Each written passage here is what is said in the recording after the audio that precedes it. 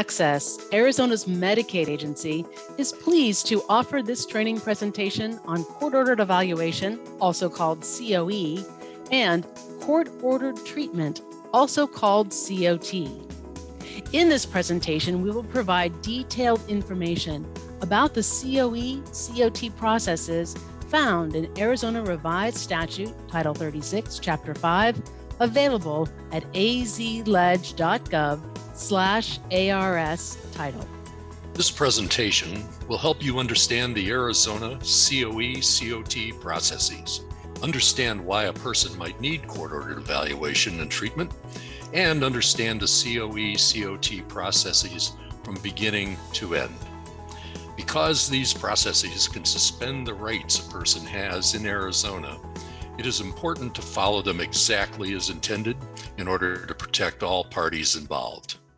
By the end of this presentation, we hope that you'll have a better understanding of the reasons a person might need court ordered treatment, the process of obtaining court ordered involuntary evaluation and treatment from the initial application through final release, the procedure for voluntary evaluation and treatment, the Arizona Revised Statutes, Title 36, Chapter 5, and the Arizona Administrative Code that dictate the standards for COE, COT, and best practices and cross agency protocols that promote the administration of justice for persons with mental illness. COE and COT embody a legal concept known as involuntary civil commitment, which is older legal terminology that has fallen out of favor in Arizona, giving rise to the terms court ordered evaluation and court ordered treatment. In Arizona, law abiding persons with a mental health condition generally enjoy the right not to be confined for involuntary mental health treatment unless a risk of harm or deterioration can be demonstrated to justify such confinement. The legal process for doing so happens during court ordered evaluation and court ordered treatment, otherwise known as a Title 36 case. The existence of a rights based legal process for involuntary mental health treatment developed slowly over the centuries. In the late 18th century, there were few psychiatric hospitals, and it was common for people with a mental health condition to be jailed, to live in shelters, or to become transient and homeless. In the 19th century, a need for large scale buildings of state run psychiatric hospitals was widely promoted. Once committed, the only way for a patient to be released was to sue for wrongful commitment or to seek release from a judge. During the mid 20th century, preferences for psychiatric care shifted from an emphasis on long term inpatient care to outpatient community based care. This movement was known as deinstitutionalization. During the era of deinstitutionalization, the Supreme Court issued a 1975 landmark ruling in the case of O'Connor versus Donaldson, which established a basic constitutional standard for civil commitment cases. Donaldson's father had placed his son in a Florida state run psychiatric hospital based only on the need for treatment. Donaldson remained there for 15 years before suing and winning damages in federal court. The Supreme Court ruled that a state cannot constitutionally confine a non dangerous individual who is capable of surviving safely in freedom by himself or with the help of willing and responsible family members or friends.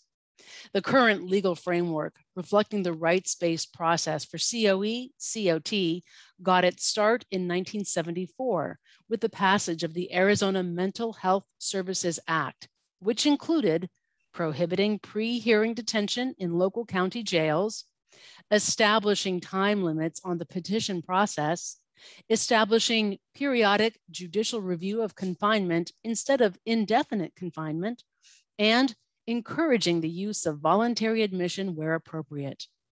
Today in Arizona, Title 36 processes are used when a person undergoing a crisis needs fast access to psychiatric care, or where those not in immediate crisis nonetheless face a danger of substantial deterioration without involuntary treatment.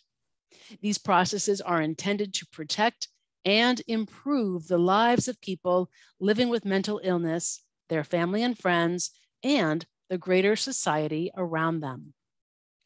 The Title 36 processes for pre petition screening, court ordered evaluation, and court ordered treatment are designed to get help to people who are unwilling or incapable of providing consent to receive behavioral health services.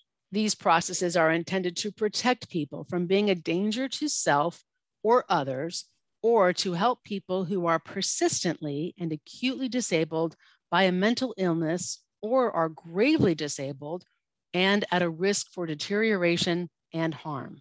The Title 36 processes are not intended to treat substance abuse disorders and should never be used as a means of punishment or coercion or to build a legal case against another individual. Let's cover some terminology used in this presentation. Pre-petition screening is a professional analysis of an application for court-ordered evaluation by a licensed behavioral health medical professional to ensure that reasonable cause exists and determine that it is appropriate and ready to be filed with the court. Before someone can petition the court for a court-ordered evaluation, they must fill out an application for the evaluation. This application is filed with an agency that is authorized and licensed to receive the application. The application is reviewed by licensed professionals to determine reasonable cause. In other words, that it is valid and necessary. This is called pre-petition screening, and it is the starting point of the COE COT process. Court ordered evaluation, or COE, is a professional analysis, which may include firsthand or remote observations, that is based on data describing the person's identity, biography, and medical, psychological, and social conditions. A court ordered evaluation is required to determine the severity of a specific mental health concern or to determine an individual's capacity for adequate functioning and is accomplished through the independent evaluation of two behavioral health medical practitioners who assess the patient being held in a behavioral health facility for a limited period of time, up to 72 hours. Court ordered treatment, or COT, is treatment that is ordered by a court according to Title 36 process and results in the involuntary care and treatment of a person with a mental disorder.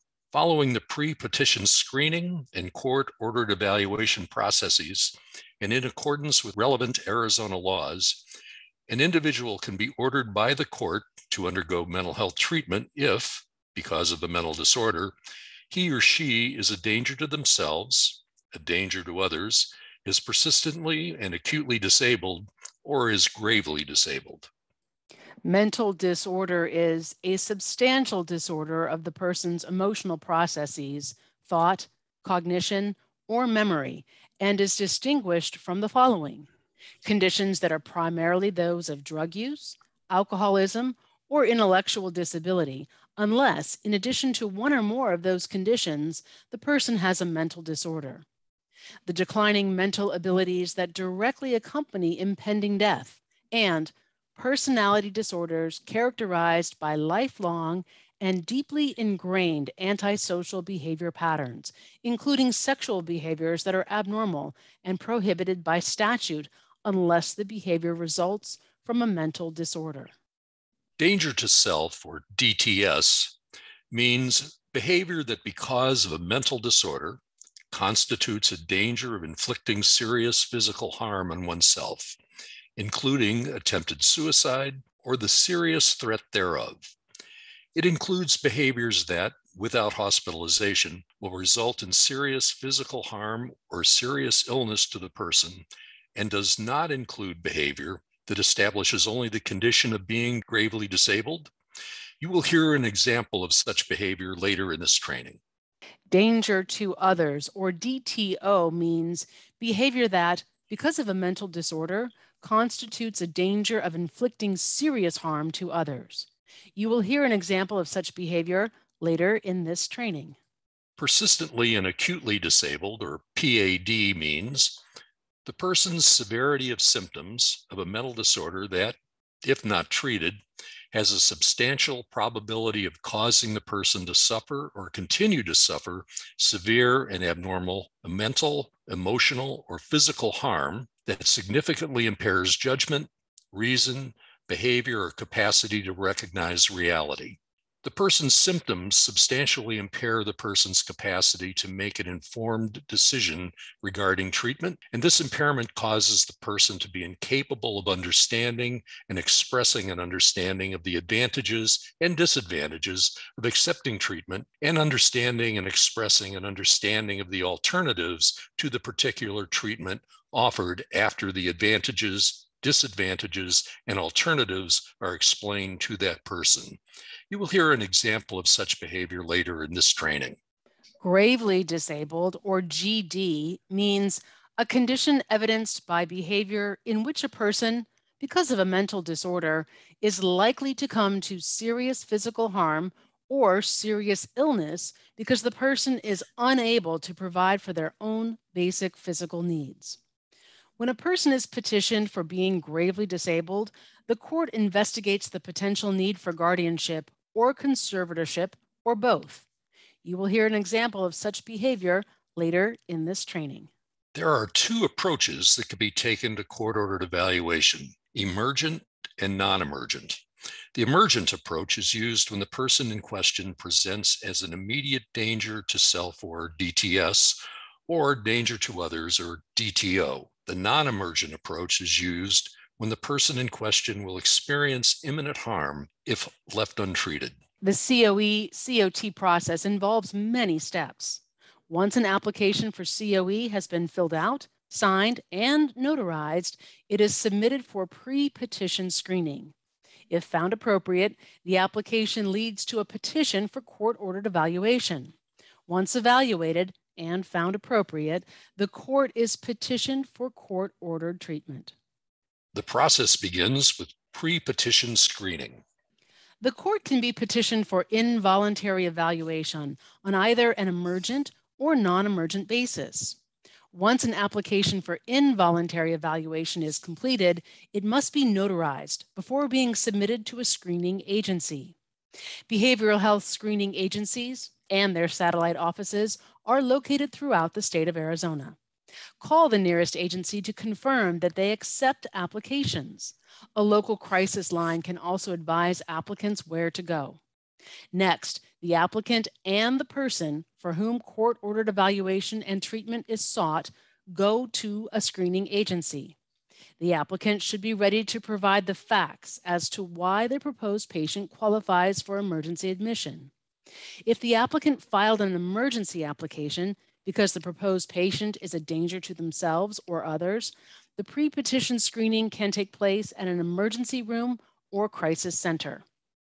If the person is not present at the screening agency, the local emergency medical services can be called, or law enforcement will try to find the person and bring them to a screening agency or emergency room where they can be screened by a mobile crisis unit as soon as possible. Once at a facility, a psychiatrist will complete the screening and decide whether to approve the petition for court ordered evaluation.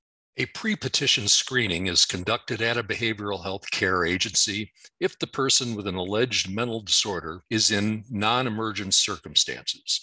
The screening agency reviews the allegations presented in the application, gathers relevant information, and conducts an interview with the person if possible. The screening agency then determines if there is reasonable cause to believe that the proposed patient is, because of mental disorder, a danger to themselves or others, is persistently and acutely disabled, or is gravely disabled, and if they are unable to, or unwilling to receive an evaluation on a voluntary basis. If reasonable cause exists, an examiner from the screening agency may file a petition for court ordered evaluation, subjecting the person to a mental health evaluation. The petition for court ordered evaluation may be conducted on an outpatient basis, or the court may require the person to be hospitalized for the evaluation.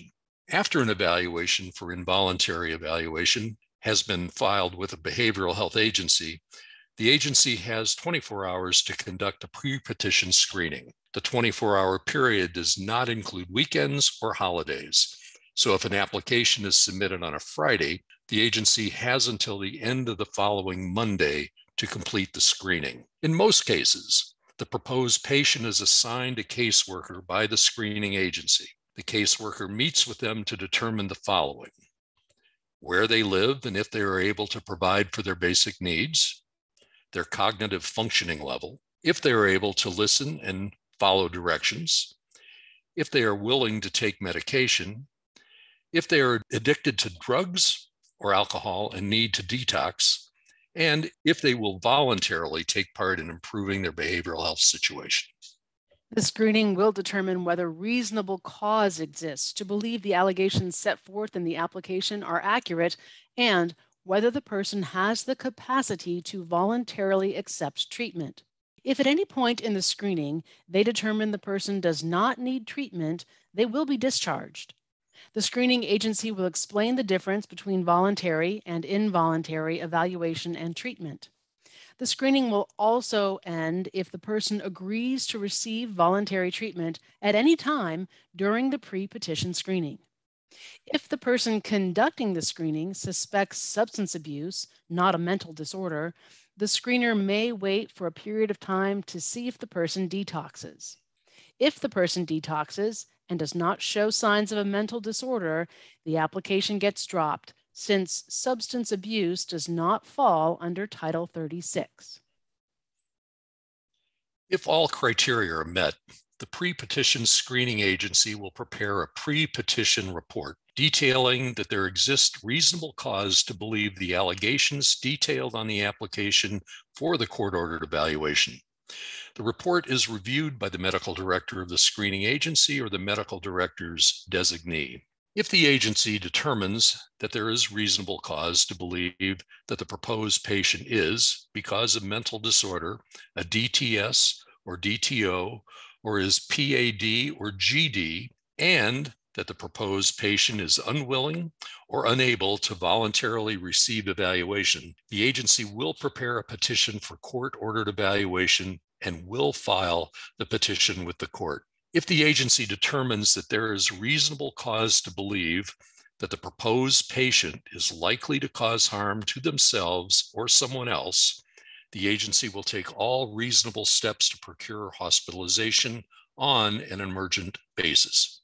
If the agency medical director or designee determines that an emergency examination is necessary, a pickup order can be issued to law enforcement in order to transport the proposed patient from a community location or the screening agency, if that agency does not perform evaluations, in order to bring them to the evaluation agency location. If the law enforcement officer executing a pickup order follows statute in good faith, he or she is not subject to civil liability. If the proposed patient is not brought in for evaluation within 14 days, the petition expires. Please be aware that the law enforcement transport itself can be a traumatic event because the transport includes the use of a police car, handcuffs, and physical searches due to specific custody safety procedures. After the pre petition screening, the Behavioral Health Agency will determine whether the proposed patient meets the criteria for involuntary evaluation. One of four things may then take place. One, the screening agency will file an application for court ordered evaluation with the court. If approved, a pickup order is sent to local law enforcement to bring the person to the hospital for court ordered evaluation. This is the non emergent approach. Two, during the screening, if the agency determines that the proposed patient is an immediate threat to themselves or others, an emergency admission for evaluation may be necessary, and the emergent approach is employed. Three, it is not unusual for the proposed patient to agree to voluntary treatment during the pre petition screening process.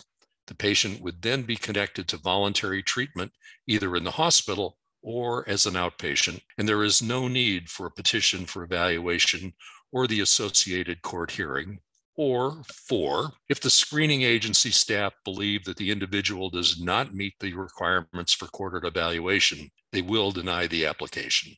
Now let's explore the court-ordered evaluation process. This flowchart shows the step-by-step process for court-ordered evaluation. It begins with pre-petition screening, which takes place within 48 hours, then petitioning the court for involuntary evaluation. If an evaluation is ordered by the court, a pickup order is issued if the person is not presented for evaluation during the pre-petitioning process, or if the person is not already at the evaluating agency. Then the evaluation is conducted by two qualifying behavioral health medical practitioners who assess the person within 72 hours. If the evaluating agency determines the proposed patient meets the criteria for court ordered treatment, a petition for COT is prepared and filed with the court. In Arizona, the court may order a patient to undergo inpatient treatment within a psychiatric hospital or outpatient treatment in the community if there is clear and convincing evidence that the proposed patient, because of mental disorder, is DTS, DTO, PAD, or GD, and is either unwilling or unable to accept voluntary treatment. Any responsible individual may apply for an evaluation by submitting an application describing the behaviors that are of concern and which affect the health and safety of the proposed patient or others. For help completing the application, call a local crisis line. There are two approaches for petitioning emergent for danger to self and danger to others, and non emergent for persistently and acutely disabled or gravely disabled. People with mental health issues can live happy and productive lives without the need for hospitalization. By its nature, involuntary treatment denies someone a portion of their civil rights. Therefore, the process to approve it is careful and lengthy. For non emergent situations, demonstrating a recent history of behaviors associated with a mental disorder can be difficult. Some things that can be included are dangerous hoarding or unsanitary conditions that could pose a health risk to themselves or others, being unable to complete daily tasks like showering, putting on clothes, or finding food, and increasing the severity of self harming behaviors such as cutting. Here's an example scenario of a DTS application for COE. Mary is a 28 year old female with two prior suicide attempts. Her boyfriend of two years ends the relationship abruptly and she falls into a deep depression. After several weeks of having no contact with anyone, she calls her mother to state that she is thinking of ending her life. At her apartment, Mary's mother finds that Mary has amassed a large quantity of tranquilizers and is planning on overdosing. Mary's mother takes her to a screening and evaluation agency and fills out an application for court ordered evaluation. Here's an example of a DTO application for COE. Bob is a 24 year old male with a diagnosis of post traumatic stress disorder stemming from his military service during the Afghanistan War. When he returned from his tour of duty, he began experiencing symptoms, including reliving the traumatic wartime events, intrusive, distressing recollections, and distressing dreams, difficulty falling asleep and staying asleep, hypervigilance, irritability, and angry outbursts. One day, his neighbor began to harass him for not keeping up his yard, and the two became engaged in a verbal argument. Bob began making threats towards the neighbor eventually retrieving a gun from his home and pointing it at the neighbor, saying he was going to kill him. Bob would not listen to family members who were trying to intervene. 911 was called, and police officers were able to get the gun from him. But he refused to go to the hospital voluntarily and continued to make threats toward the neighbor, saying again that he would kill him. Police transported him to a screening and evaluation agency, and Title 36 paperwork was started. Here's an example scenario of an individual who was persistently and acutely disabled. Mark is a 32 year old male with a diagnosis of schizoaffective disorder. He has frequent delusions, believing that anything that goes into his body is poison and will harm him, including the food he eats and his prescribed medication. His mom has been successful in helping him through these delusions. However, she recently passed away. Mark has been staying with his brother. Mark is currently not eating, has lost a lot of weight in a short amount of time, and refuses his medication. His brother goes to the screening and evaluation agency and fills out a non emergent application for evaluation. Probable cause is established and a pickup order has been issued so law enforcement can bring Mark in to be evaluated. Here's an example of an individual who is gravely disabled and an application for non emergent COE. Karen is a 31 year old female with a diagnosis of schizophrenia who reportedly lost weight to the point of her ribs sticking out. She is not attending to her hygiene, and she is not eating due to the belief that food is poison. She reportedly urinates and defecates on herself and then becomes upset with her family for trying to clean her. She reports being pregnant by her ex boyfriend, and because he did not want the baby, he put his whole arm and snakes inside of her, and the snakes ate the fetus. She believes there is glue in her spine and it is moving to her brain, causing her to make bad decisions.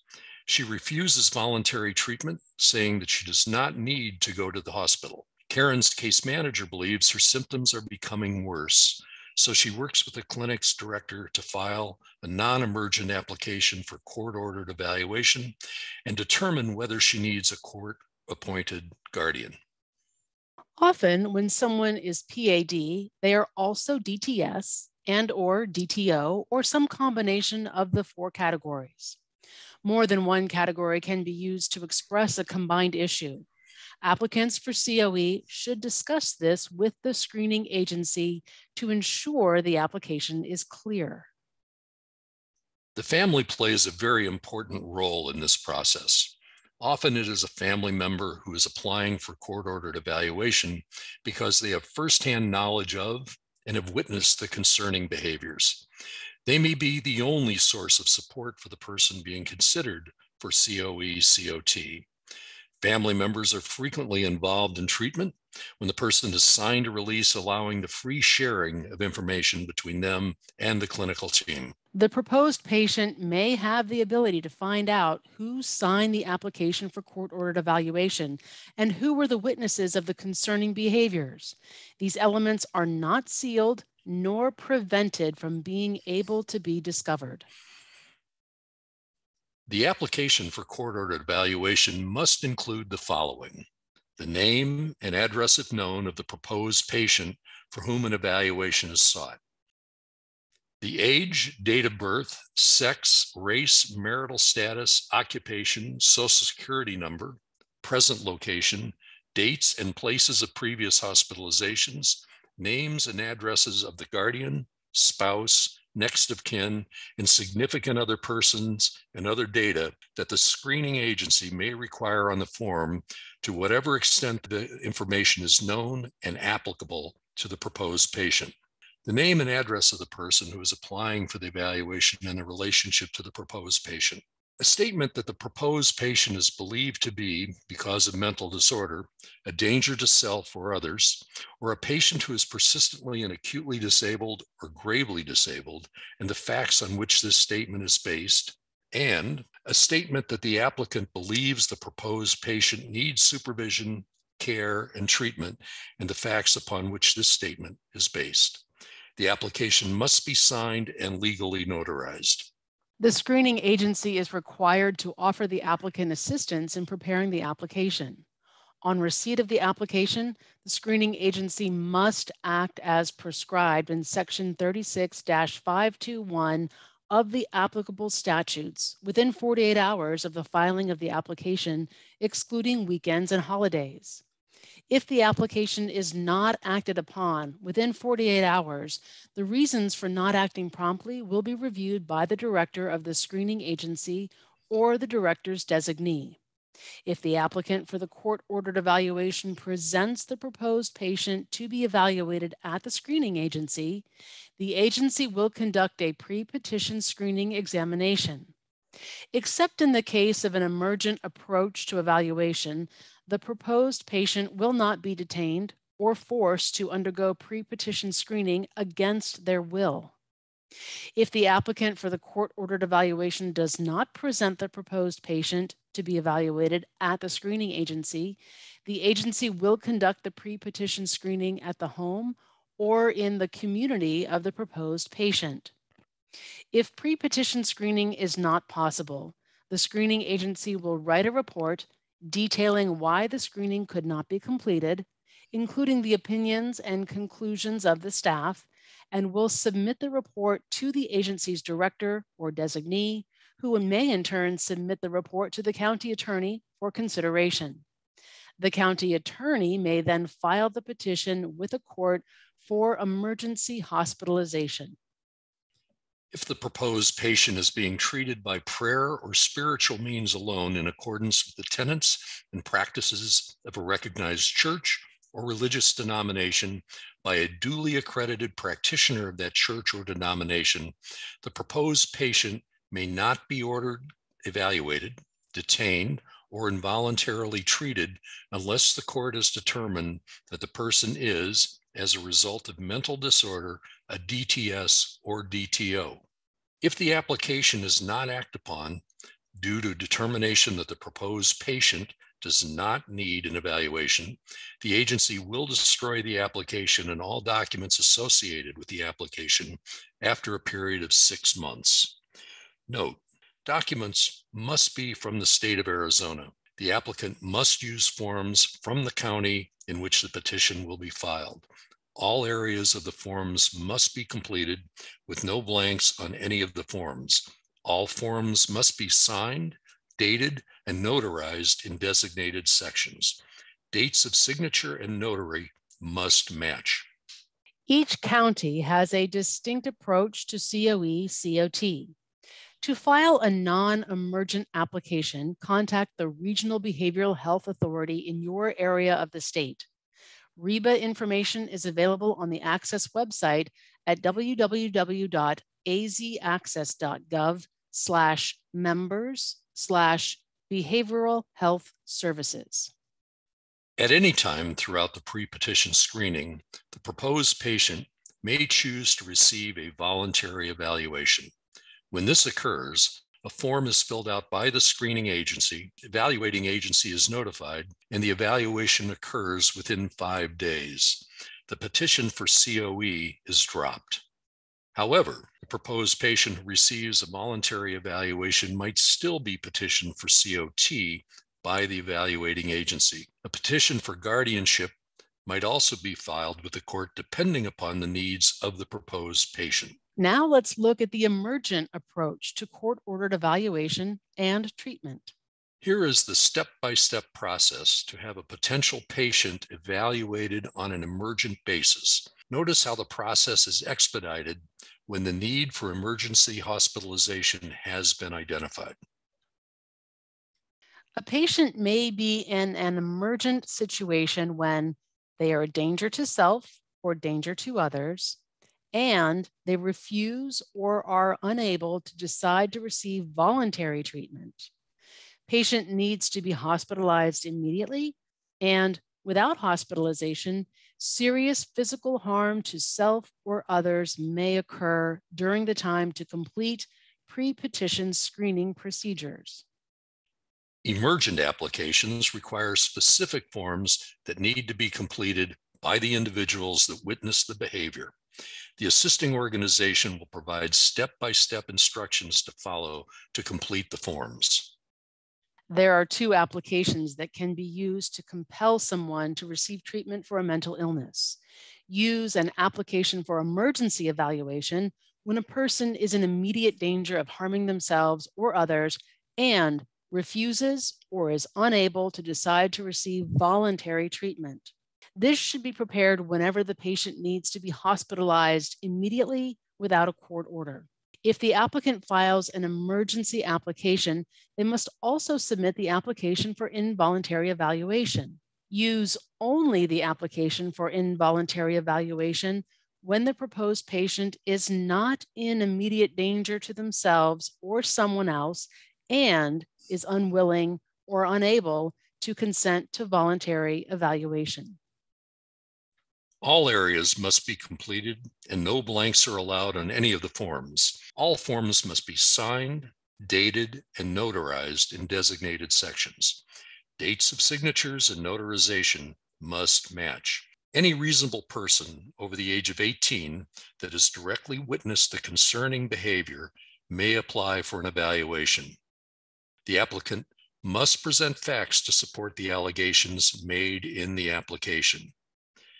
A statement must be included indicating that, without immediate hospitalization, the proposed patient is likely to suffer serious physical harm or serious illness or is likely to inflict serious physical harm on another person. Depending on the agency and or court, the applicant for COE will need to provide examples of recent concerning behaviors. Behaviors occurring within the last two months are considered recent.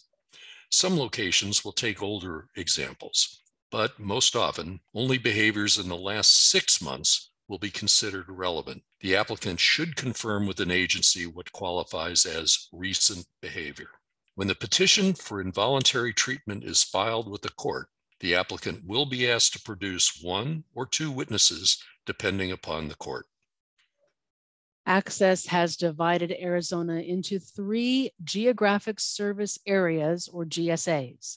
Northern Arizona, which includes Apache, Coconino, Gila, Mohave, Navajo, and Yavapai counties, Central Arizona, which includes Maricopa County, and Southern Arizona, which includes Cochise, Graham, Greenlee, La Paz, Pima, Pinal, Santa Cruz, and Yuma counties. Each county has a distinct approach to COE COT. To file an emergent application, contact the Regional Behavioral Health Authority, RBHA, in your area of the state. RBHA information is available on the AHCCCS website at azahcccs.gov slash members slash behavioral health services or see the resource list at the end of this presentation. Remember, a proposed patient may elect to be evaluated voluntarily at any point in these processes. When a proposed patient chooses to be voluntarily evaluated, the application is voided, the petition is dropped, and is not filed with a court. Now let's look at what happens after the application for COE is accepted. When the application is accepted, the screening agency medical director prepares and files the court petition. If the situation is emergent, the petition is filed on the same or the next day. A completed packet includes the application, the pre-petition screening report, the petition itself, and any other forms required by the given county. The petition must include any known criminal history or if the person was ever found to be incompetent to stand trial.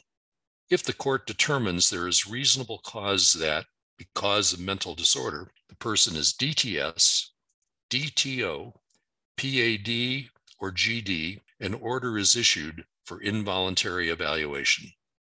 After the order for involuntary evaluation is issued by the court, the person is considered a patient and is evaluated as soon as possible. The evaluation may occur in an inpatient or outpatient setting as ordered.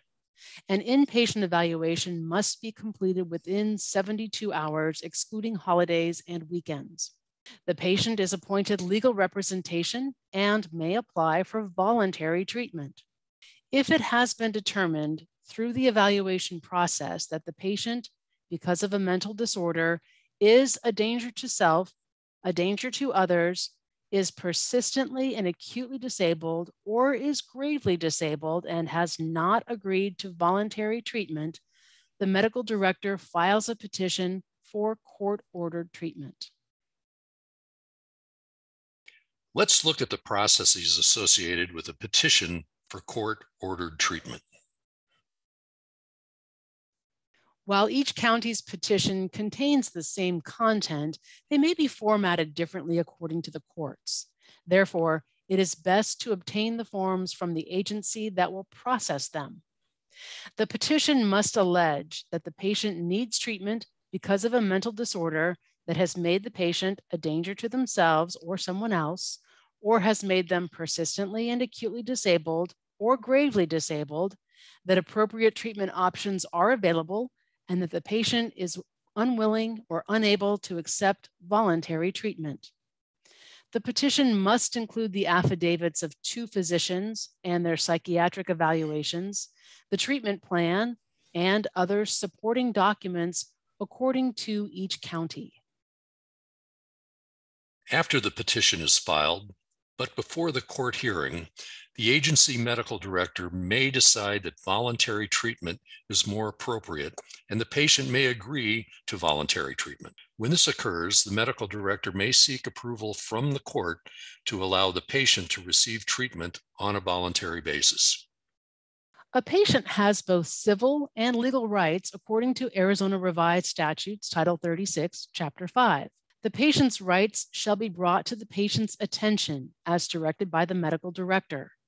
Rights must be conspicuously posted in the facility in which the evaluation occurs. An agency evaluating or treating a patient shall immediately notify the patient's guardian or family member of the patient's presence in the agency. The agency shall document all attempts to comply with this requirement. At all hearings, the patient has the right to an analysis of their psychological condition by an independent evaluator. Civil rights, rights to property, litigation, contracting, and voting, must not be denied. COT is not a legal determination of incompetency.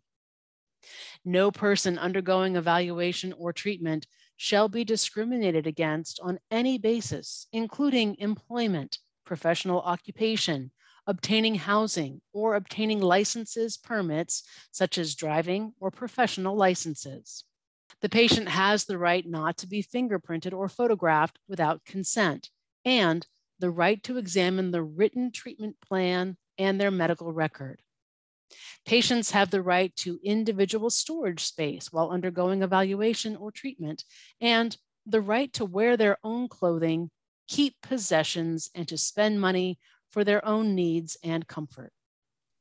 The patient has the right to safety considerations, and they must not be denied access to personal property unless a written determination is made justifying the denial. The determination must be placed in the patient's record and made available to the patient's attorney or guardian upon demand. Personal property that the patient cannot use must be placed under control of the patient's guardian, conservator, spouse, or next of kin.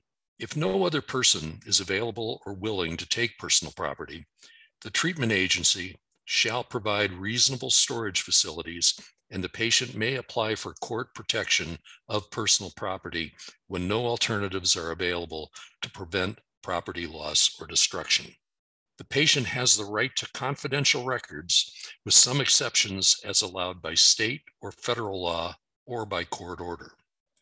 If the patient works, the work shall be in the patient's interest. If the patient works for the mental health treatment agency during their stay, they must be paid according to state law. If the purpose of the work is therapeutic, the patient may or may not be paid as circumstances did indicate. The therapeutic work must be documented in the patient's record with the reason for work treatment. The patient has the right to quality treatment and emergency care and the right to refuse medical care. The patient has the right to be free of seclusion or restraint, except in cases of emergency for the safety of the patient or others, or as part of a written plan of treatment created by the clinical director if the patient is under COT.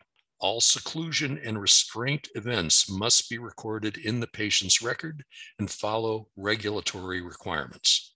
The patient has the right to visitation, telephone, correspondence, and religious freedom, including the right to be visited by their personal physician or other health professional, guardian, agent, attorney, clergyman, or any other person subject to reasonable limitations.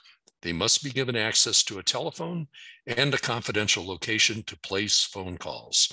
They have the right to be furnished with stationery and postage and to correspond with any person without censorship There are consequences for violating a patient's rights, including knowingly making false statements in support of a petition, which is a class one misdemeanor.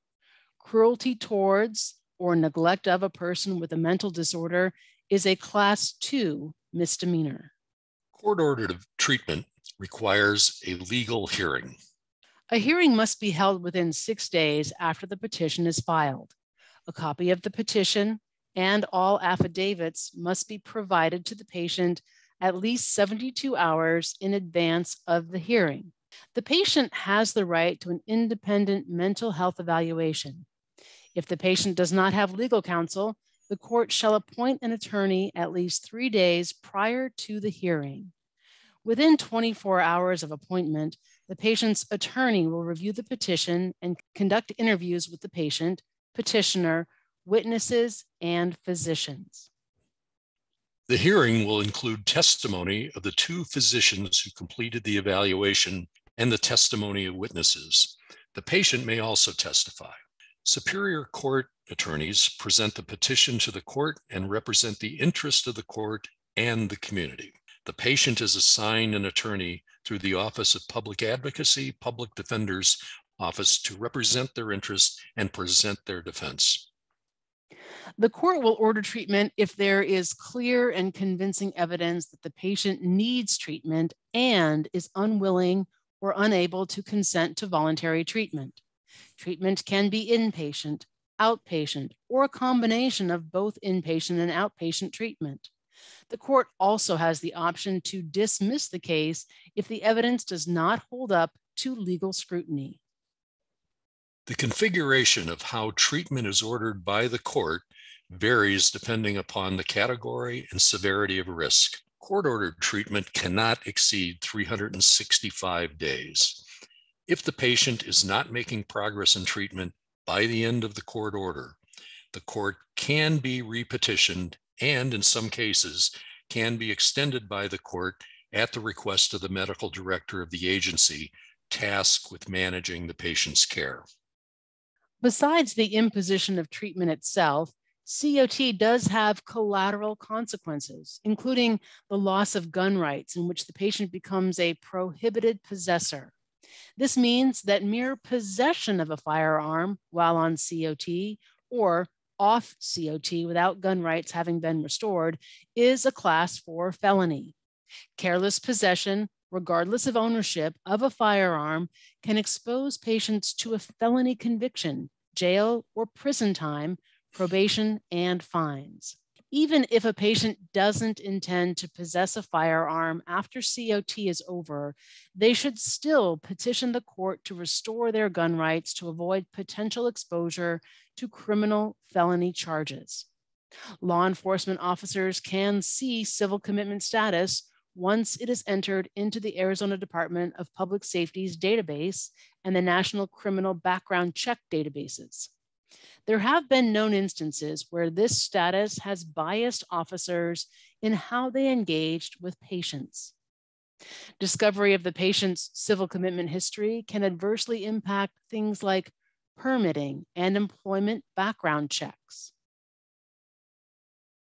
While on COT, the patient must remain compliant with their prescribed medications and attend appointments with their prescriber every 30 days. Judicial review is a critical aspect of COT as it is intended to ensure that the treatment ordered is still necessary every 60 days. Status reports may also be requested by the court.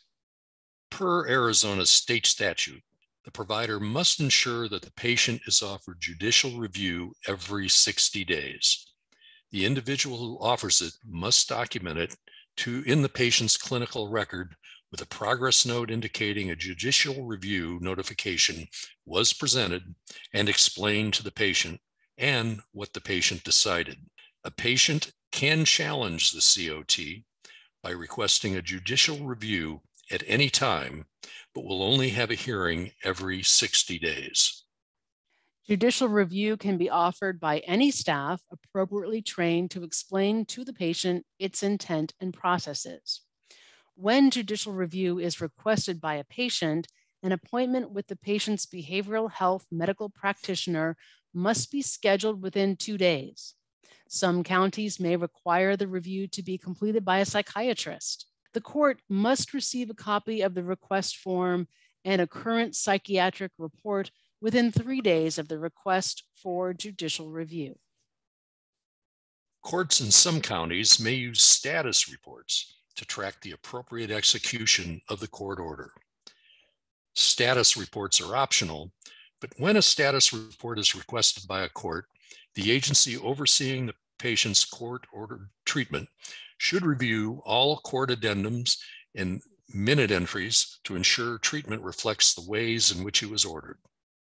Now let's examine the processes for revocations and amendments to the court order. If a patient does not comply with the court ordered treatment plan, the court order can be amended or the outpatient portion revoked. Once the form from the county in which the patient resides is completed and signed by the medical director, the medical director or designee submits it to the appropriate county attorney for filing. The county attorney will file a motion for amendment, apprehension, and transport, and will get the corresponding orders issued and sent to the appropriate law enforcement agency. This allows the law enforcement entity to bring the patient to an inpatient setting when necessary. The process for rehospitalization or outpatient revocation involves filing a notice with the court rather than a motion the court is simply notified that revocation has occurred as opposed to asking the court to approve it, which is unlike the regular amendment process. The medical director of the outpatient treatment agency can amend or revoke the outpatient portion of the court ordered treatment at any time during the court order. The amended order may alter the outpatient treatment plan or order the patient to inpatient treatment. The amended order cannot increase the total period of commitment originally ordered by the court. If the patient refuses to comply with an amended order for inpatient treatment, the court, on its own motion or on the request of the medical director, may authorize and direct a law enforcement agency to take the patient into protective custody and to transport the patient to an inpatient treatment location. Court orders are time limited up to 365 days.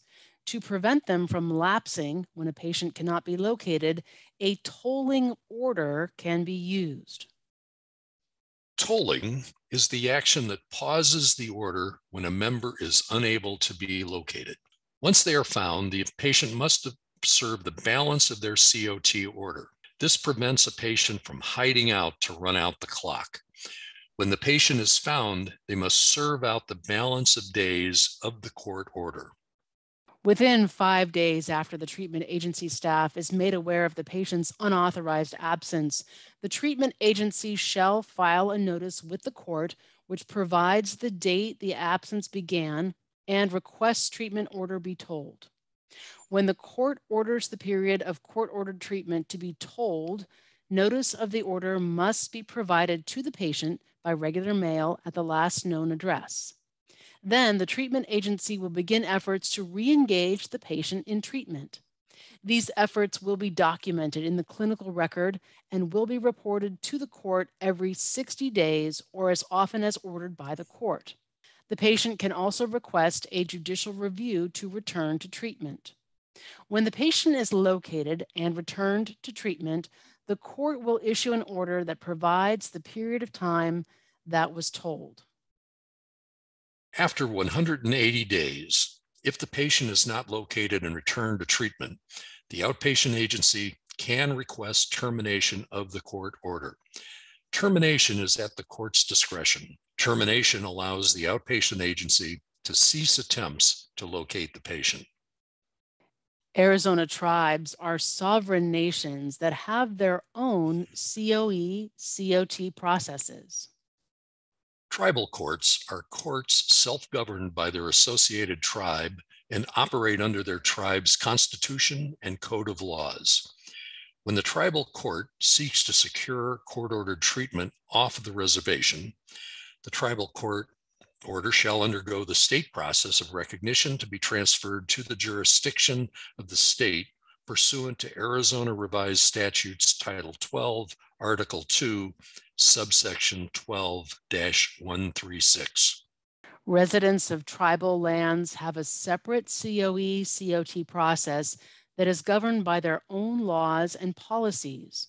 The tribal court order will specify the type and amount of treatment needed and is initiated by the tribal court. To secure COT off reservation, the tribal court order must be recognized or transferred to the jurisdiction of the state. The transferring of a tribal court order is initiated by the tribal court.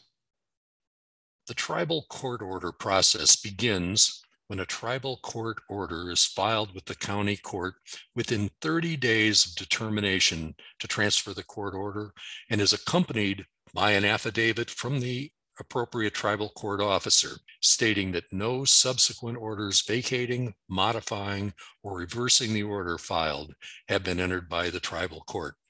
Responses from the receiving court must be filed within five days of receipt of filing the order.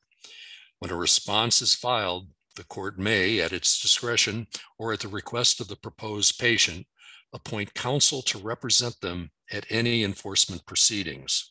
The receiving county court may not assess the validity of the tribal court order. It can only assess its consistency with ARS 12 136 the statute that details the tribal processes for involuntary commitment. The receiving court judge shall attempt to resolve any issues raised regarding a tribal court order by contacting the tribal court judge who issued the order. Tribal court orders must undergo the recognition process to transfer the responsibility from tribal court to county court. For example, when a Native American person needs services outside of the reservation as stipulated in the tribal court order. A determination is completed, and the county court advises the tribal court of the approval or denial of the recognition request.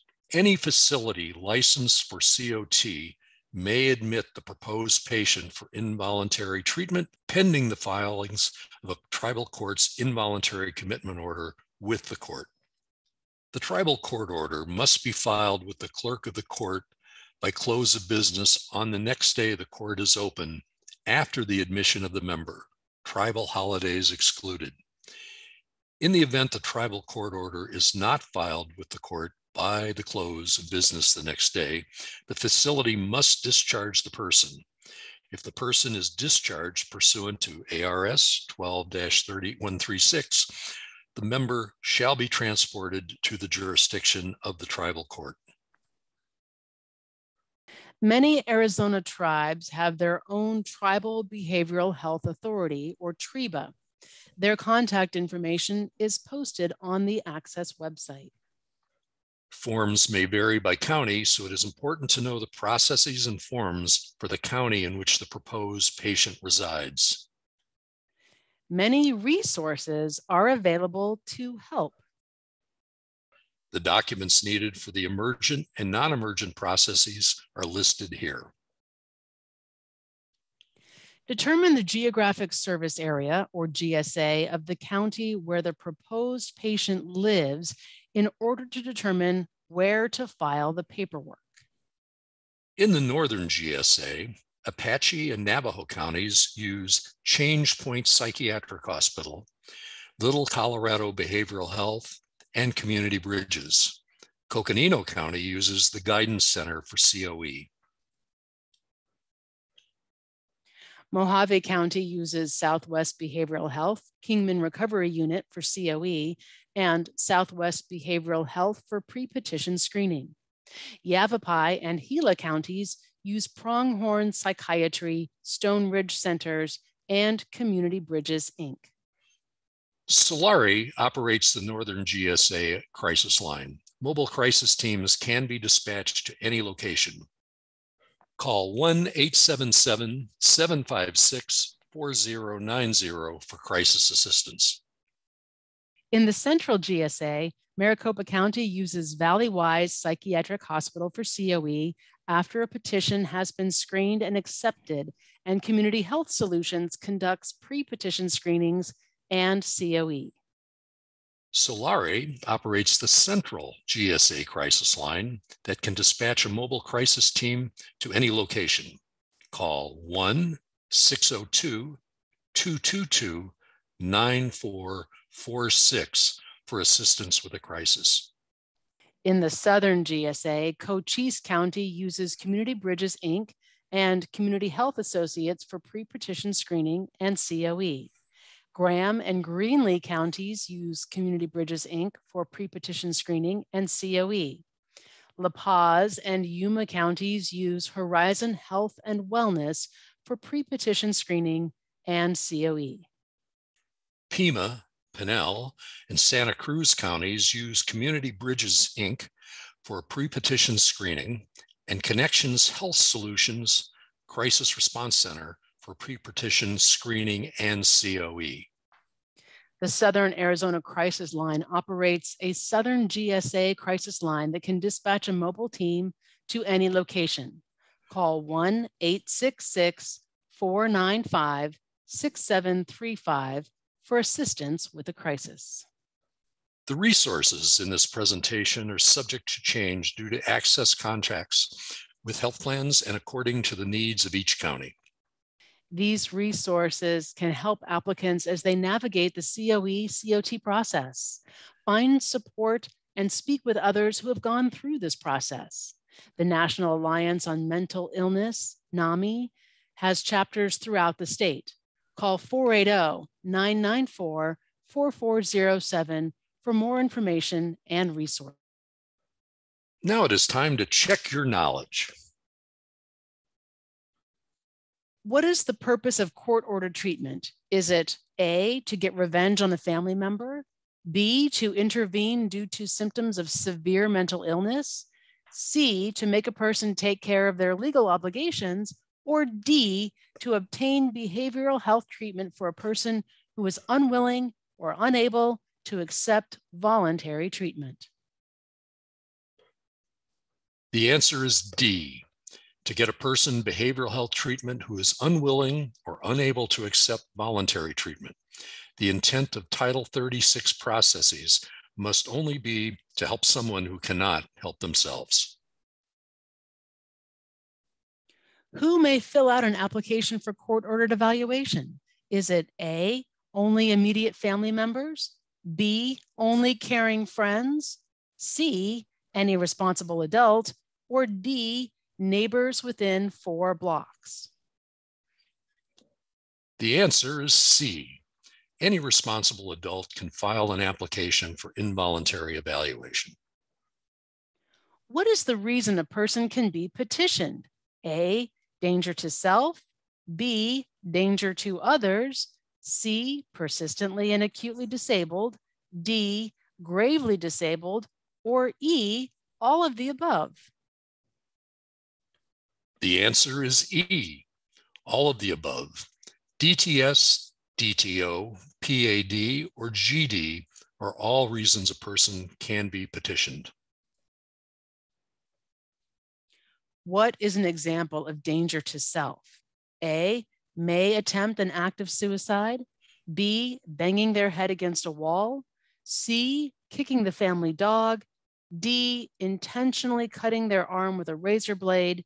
E, A and B, or F, A, B, and D? The answer is F.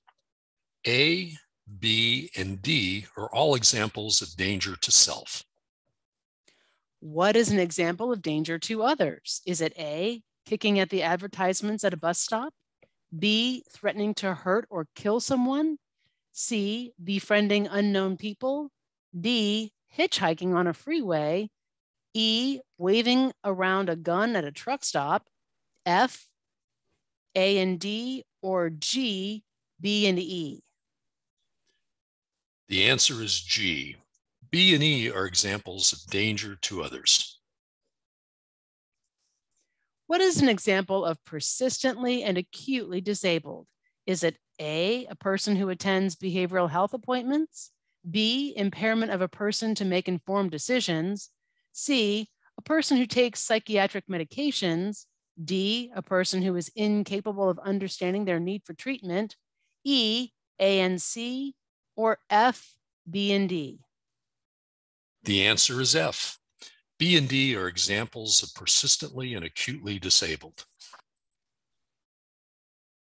What is an example of gravely disabled? Is it A, a person with an incapacitating mental disorder, a person who takes different psychiatric medications, C, a person who, because of a mental disorder, is unable to get out of bed and feed themselves, D, A and B, E, A and C, or F, A, B, and C? The answer is E. A and C are examples of gravely disabled. A person can have their COT reviewed for termination by A, not showing up for scheduled psychiatric appointments, B, talking with friends and family members, C, requesting a judicial review, or D, consulting a police officer? The answer is C.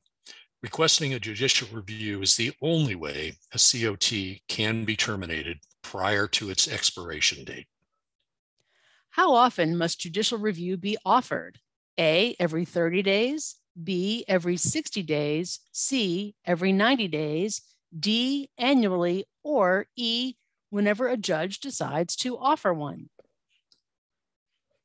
The answer is B, every 60 days. What are the possible collateral consequences of COT? Is it A, unable to own, possess a gun? B, adverse action when applying for permits or being background checked? C, medication compliance? D, must attend psychiatric appointments every month? Or E, all of the above? The answer is E. All of the above are potential consequences of COT. How long is a COT order enforceable? Is it A, 90 days, B, 180 days, C, 365 days, or D, per the court's recommendation? The answer is C. 365 days is the duration of a COT order. To file a tolling order, you must confirm that the patient is physically located out of state. Is that A, true, or B, false? The answer is B, false. A tolling order can be filed whenever a patient is missing, regardless of their location. A COT order may be used to get someone with a substance abuse problem into rehab. Is that A, true, or B, false? The answer is B, false. The Title 36 processes cannot be used to get someone into rehab, and substance abuse alone does not qualify as danger to self. When would the COE COT processes not be appropriate? Is it A, to build a legal case against someone? B, to enact revenge? C, when the custody of a child is involved? D, when the child has been removed because of abuse or neglect? Or E, all of the above? The answer is E. All of the above answers are inappropriate reasons to enact the COE COT processes. The AHCCCS Crisis webpage lists suicide crisis lines by county and frequently asked questions. Applicants can find assistance at these web resources or by calling AHCCCS. AHCCCS thanks these individuals for their contributions to this presentation.